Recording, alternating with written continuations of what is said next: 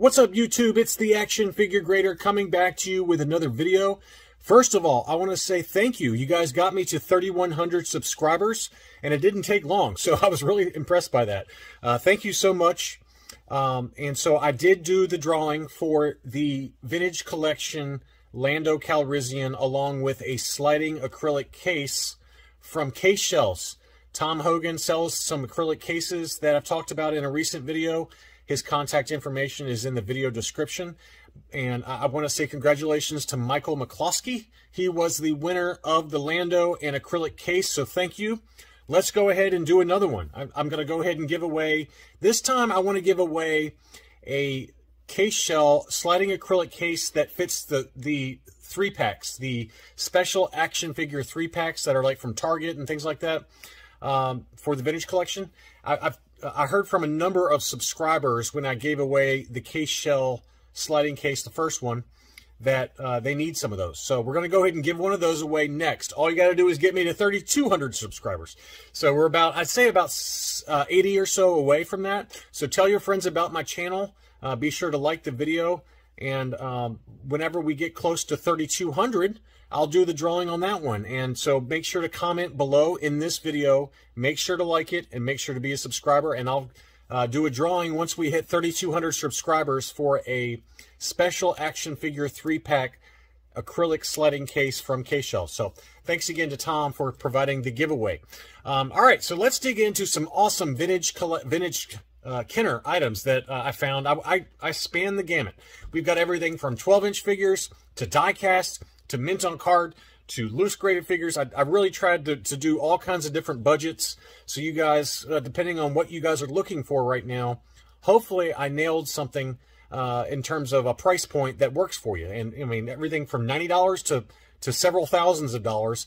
There was one even, uh, one incredible item that sold for over $5,000 that I'm going to talk about towards the end of the video that I don't think the seller knew what it was. Uh, otherwise, he might have he might have priced it a little higher because I think it went for a very fair deal. So make sure to stick around uh, for that. But let's go ahead and dig right in. We've got a graded 1979 12-inch Darth Vader. I, I, really love this. This is one I'd like to have in my collection one day. I don't, you know, I, I don't really have any 12-inch figures, but I think if I'm going to get one, I probably need to get one of these 12-inch Vaders. And this one sold at auction. It was graded by Collector Archive Services 80, 80, 85, so very high grade. And it looked to be in high grade. It's, it's really, really nice condition there. Um, he looks awfully nice with that. I, I love the way that that lightsaber is kind of portrayed there, where it's kind of in mid-swing. I don't know what they're doing there, but it looks pretty cool. Um, and it's probably about right for the grade. I mean, it looks it looks nice, like a nice mint and seal box example. Um, but that's a beautiful, Beautiful item. That one sold for $930 plus shipping. I thought that was a great deal. Great deal to me for, for a beautiful high-grade 12-inch Vader. Uh, here was an ungraded 20-back B Stormtrooper.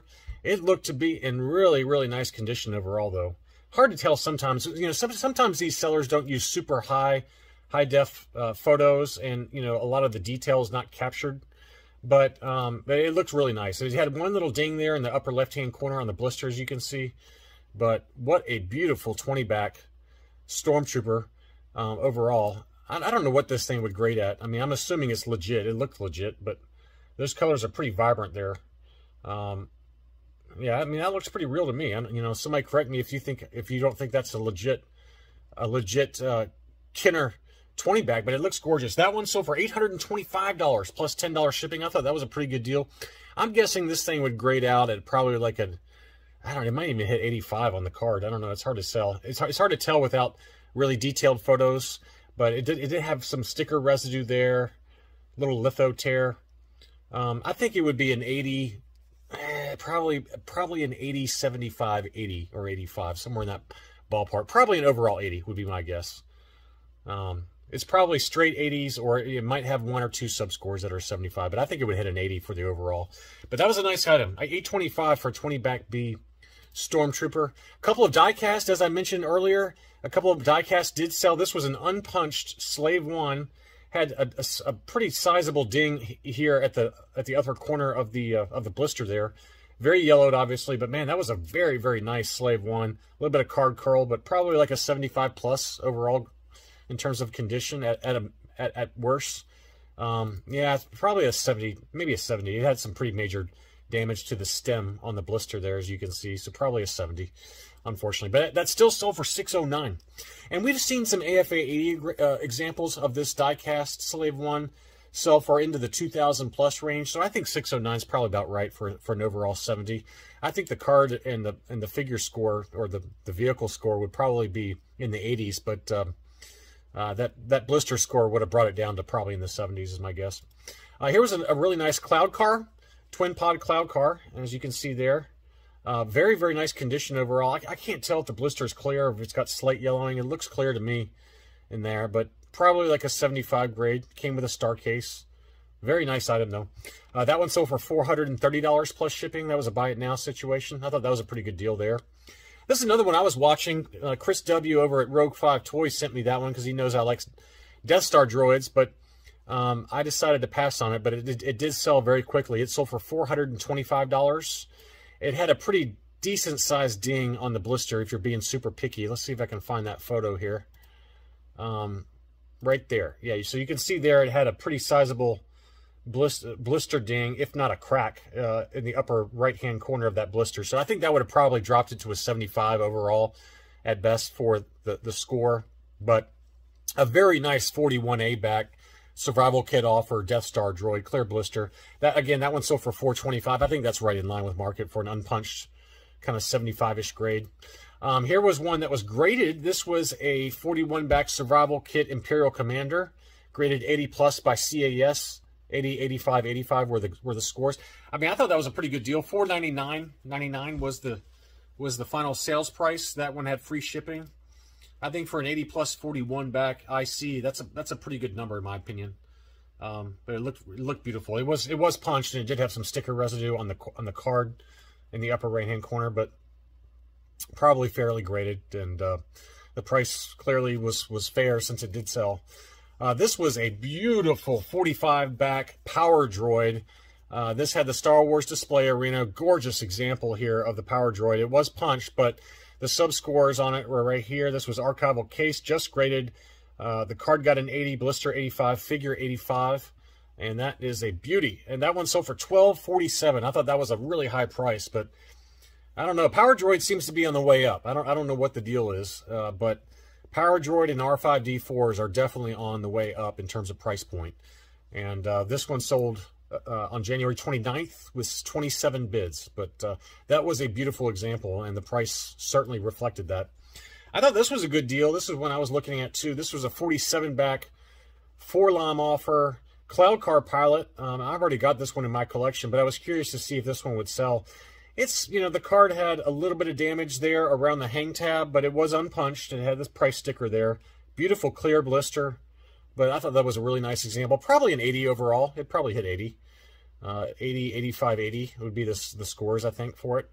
Uh, that one sold for 283 283 I thought that was a good price. Really good price for a, uh, a ESB Cloud Car Pilot you know, maybe I'm a little generous on it. Maybe it only gets a 75 plus, but uh, whatever the whatever the, the final score would be in grading, I think for uh, an ESB card back, clear blister, unpunched, for 283 US dollars plus another 27 shipping, let's call it a little over 300 bucks. That's a great deal in my opinion. I think that was worth every penny of that. Uh, this one sold at auction. This was a 48 back Revenge of the Jedi AT-AT driver. Now the issue with this one is, you know, whoever owned it prior put hole punches in the card, and that's just painful to look at. So you can see where they used a hole punch to around the hang tab there, and you know probably hung it up on a wall or something like that. But that really dings this. You know, if if you're going to get to something like this graded, I think the max score it would get would be a 70 because of that. Because it you know technically it's got part of the card missing from where they did the hole punch. So that was painful to look at, but it was otherwise beautiful. I mean, it had beautiful blister.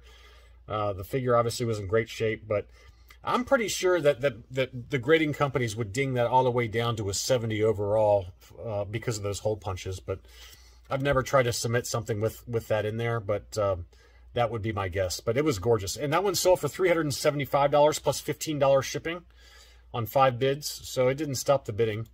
Uh, here was another one that was really nice, another 48 back. This is FX7. It was punched, had a little bit of wear around the hang tab, but uh, Clear blister, really pretty. that blue really pops on, on, on this FX7. Gorgeous example of that. Probably an overall 80, I, I, guess. That's just my, my rough guess on the condition. But uh, that one sold for 248 248 on four bids. I thought that was a great price for a uh, FX7. And uh, someone got a good deal on that one.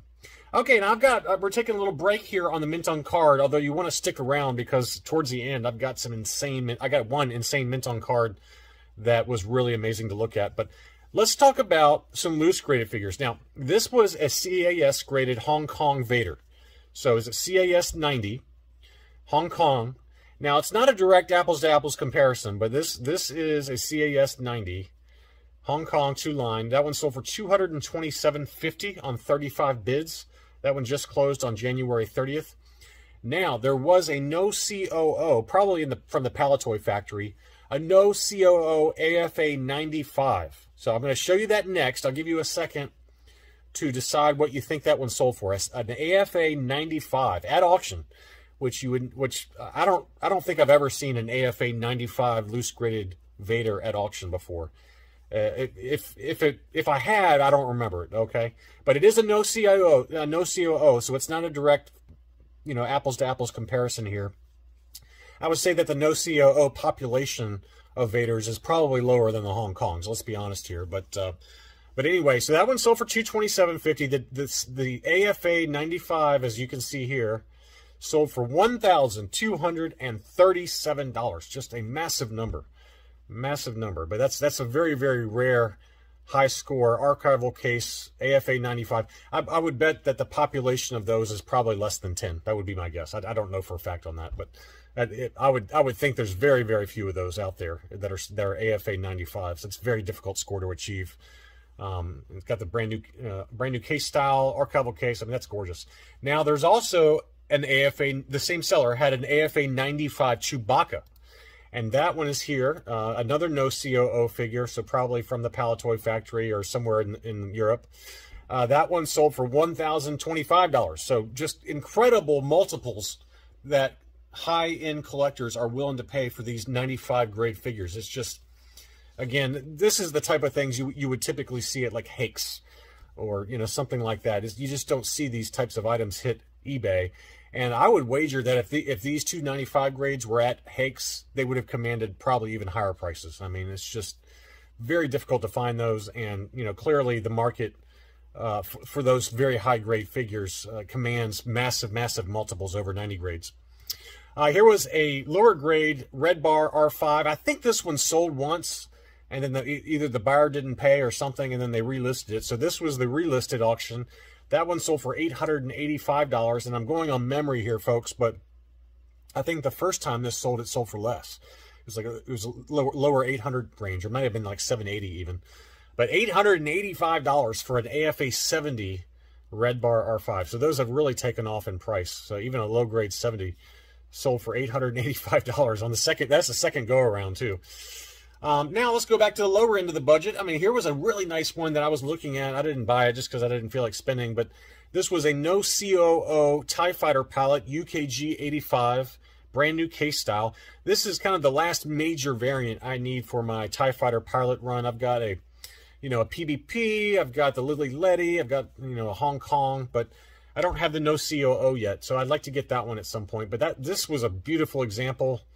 And uh, that one sold for 90 bucks 90 bucks plus shipping. So for me it would have been because of the global shipping program costs it would have been almost double it, it, the, just the shipping would have been almost as much as the item because the, the, shipping is, is $70 to the us for me. So it's just crazy how difficult it is to get uh, a fair deal on uh, on on international items for us buyers right now on ebay. It's just it's cost prohibitive because of the global shipping program uh, another interesting one was this one. This was a 90 plus CAS grade Lili Ledy Nien Nunb. That one sold for 218 on free shipping, 30 bids. I thought that was a great price for a very high grade Nien Nunb. Uh, this probably came off like a U.S. market, you know, Lili Ledy U.S. market card back. Um, and uh, 90 plus is, is gorgeous. Really, really nice. Um, Elton John's love child over the UK also had this one. This was a Burgundy Cape Lili Ledy Squid Head. I thought this final sales price wasn't too bad. You know, so it's got that red, very distinctive burgundy cape for the squid head, me the Mexican squid head. Uh, very distinctive color to that cape. I've got this one in my collection. Uh, this one sold for 461 pounds or 618 US dollars. Um, I thought that price was pretty fair given what I paid for my CAS 85 Plus. I thought that was a, a great price. Um, I paid, I don't remember exactly what I paid, but it was it was in that ballpark. It was a little bit more expensive than this one, but uh, uh, that was a pretty harsh grade. I mean, it looked it looked to be in better better condition than an 80%, but uh, you can see there the figure got 80, 85 for the paint, and the cape got 80. So I would argue that mine is probably about similar condition. Um, but anyway, that one sold for 618. I thought that was a great price. Um, here's another yak face. Last 17s continue to go up in price. I mean, every time I think I see a yak face selling for a high price, we have another one that sets another bar. And this was only an 80 plus only. I mean, it's still a beautiful item. But typically, this kind of price point has been like 85. but the last 85 yak face loose graded sold for $1,300 believe it or not. So this was an 80 plus, and that one sold for $900. So given where that 80, AFA 85 sold just a few weeks ago for 1300 I, I think that this $900 mark is kind of right in line with market for an 80 plus. So um, they just continue to go up in price no matter what. Um, all right, now this is a really interesting one, and I know that several uh, subscribers to the channel sent me this by PMs, and I, I, got this from like 10 different people, but rest assured I was watching this and I and I want to say thank you guys for doing that. I mean, I, I'm I don't want you to think I'm not appreciative of you guys sending out links to me by Instagram or whatever. I, I appreciate you guys doing that because sometimes I do miss stuff. I'm I'm not all knowing. All right, I don't see everything that pops up, but this one was definitely worth talking about. Now, this seller in uh, in Australia listed as Star Wars Vintage Collection Retro Yoda by Kenner. That is not what this is. This is not the retro collection, okay? this is a vintage Kenner Yoda on the free Nien Nunb offer. But what's unique about this one is that this is the Toltoys example. So this was manufactured in the Toltoys factory uh, in Australia. And, you know, so these were only made for the Australia and New Zealand markets. As you can see there, it's got the the New Zealand, uh, or excuse me, the, the whatever, the Australian address, Alexandria, so th these items are extremely, extremely difficult to find. And the fact that he listed as a retro Yoda, I just thought that was hilarious. But it didn't affect the price clearly. It sold for 7,490 Australian dollars, which is 5,277 US dollars. I don't know what the market values are for, for these. I just I don't follow Toltoys items. Uh, I don't I don't know that market very well simply because they're so expensive. I mean, they're just such in, insanely expensive items to find mint on card. But I know that there are collectors out there. I've seen them on um, on Instagram, guys that focus on Toltoys uh, items, but but they are very very expensive. Even even something like that's fairly common, like a General Madine or a Lando Skiff. Those are two of the most common Toltoys mint on cards that you find. Even those in low grade can go for a $1,000 plus. So to get a Yoda, a Yoda uh, on a Toltoys card back, I knew that was going to go for big money. I, I, can imagine, I probably know who the buyer was for this one, but uh, who's got a, an incredible Yoda collection. But uh, this one was gorgeous, uh, but it was just mislabeled by the seller. But uh, again, I, I don't know what I don't know the market for, for for Toltoys. I just wanted to point it out and how hilarious it was that he called it retro collection. But uh, anyway, five thousand two hundred and seventy-seven U.S. dollars took that one home for the Toltoys Australian New Zealand market Yoda with the free Nien Nunb offer. Just an incredible item to see at auction. Uh, one other cool one that sold at auction was this one. This was a 65 back A Han Solo clear blister AFA 80. The card got an 80, blister 85, figure 80. Gorgeous, gorgeous card. Gorgeous item there. Um, looks like it either had some scratches on the case or something, but whatever. I mean, I, I would have gladly paid this number. This sold for $1,025, 33 bids plus $15 shipping. I would have paid that all day long if I had been looking for a Han uh, clear blister Return of the Jedi. That's just something that, you know, it's kind of a nice thing to have in your collection. You can see how scratched up that case was. So this would be one that if I bought that, I would definitely get it recased. As painful as it would be to send that off for for grading again uh, and and waiting for uh, for for it to come back a year and a half from now, probably with AFA. But you can also see it's got a crack there on the on the case in the lower left hand corner there. So this case was really really beat up, and that's probably what kept the, kept the price down. Um, if it had been a super clean case, like freshly graded, I bet it would be closer to $1,500 would be my guess. But what do I know? Um, finally, uh, this is another cool one that you don't see come up very often. This one sold at auction. I thought that was a great price. Now, it's listed as a 77A back Emperor Palpatine yellow blister, and you're like, what's the big deal about that one, John? This is a very common item. Well, number one, emperors in general, yellow blister or not, they, they tend to be going up in value. They're, they're definitely moving up, and that's been happening for the last year and a half or so, pretty pretty consistently. But this was a nice unpunched, you know, probably 70 grade overall. But what's unique about this one is that it had the void stamp on the proof of purchase. And, you know, as, as you guys know, those those boxed mail-away emperors, those were often sent off by Kenner. You know, if you if you collected and sent in enough proofs of purchases for the Return of the Jedi line of figures, you could get the mail away Emperor. I've got a number of those on my channel that I have. I've got a uh, I've got a baggie uh, graded, and then I've also got the actual mailer box with the paperwork and all that graded by AFA. But what happened was, I think, and you guys can correct me if I'm wrong, Kenner probably ran out of those baggies, so they actually did go ahead and send off two people that sent in these proofs of purchase for the mail away Emperor. They just sent them in on card. They just sent those guys a on card, and so that's why they voided the proofs of purchase because you know it's it's this is a giveaway or a mail away uh, as part of the proof of purchase, you know, redeem, redemption. So they wanted to void that, so you did resend it in. Um, but that's kind of cool. I mean, I've seen I've seen a few of those sell on Deal or No Deal on Facebook, but this is the first time I've seen one to my memory on on eBay sell, and it was you know th these often were probably sent in mailer bags, so they're pretty beat up usually and this one's no exception. You can see right here where it's got a ding on the on the blister. But given that this was probably not sent in a box, it was probably sent in a know, some kind of mailer bag. Uh, that's that's in pretty good shape overall. It's still unpunched, and uh, uh, but it's cool to see that void on the on the proof of purchase. And and to answer your un, unasked question, I don't know how the graders would would would would grade this because it's got that void stamp on there. I assume that they would they would still grade it and it would just, you know, be affected in terms of the card score. Or they might even label this as, you know, Kenner mail away, uh, redemption voided, something like that. I don't know. I don't. I've never seen one of these graded before, but uh, very cool item. And I thought 230 bucks plus $10 shipping was very fair for, for that item. Uh, anyway, just as a reminder, once we hit 3,200 subscribers, I will do a giveaway for a sliding case for those action figure, special action figure sets, the three pack vintage collection. They're like from Target, things like that, or the SDC sets, like the 501st, or the Dr. Aphra three pack, things like that. Uh, they're really nice cases, courtesy of CaseShells. And so once I hit 3,200 subscribers, I will do a giveaway. And so make sure to like this video, be a subscriber, and comment below to be automatically entered to win. Thanks so much, and I'll be back soon.